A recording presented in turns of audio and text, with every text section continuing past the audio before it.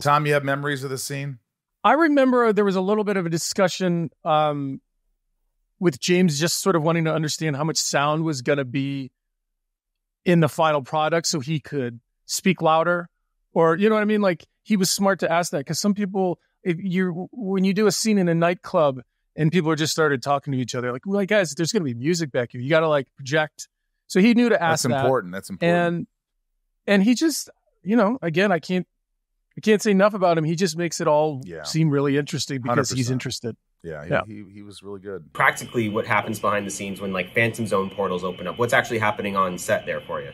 Uh, it's a good question. Uh, we you we usually put a piece of tape of some sort on a stand that everybody has the same reference point for their for the visual, and then there'll be smoke machines and um and fans kind of blowing, and you just really try to. I what I do is I try to visualize some version of what I think I'm seeing, and I'll ask, like, is it going to be swirling? Is it going to be moving? Is it a black hole? Like, what is it?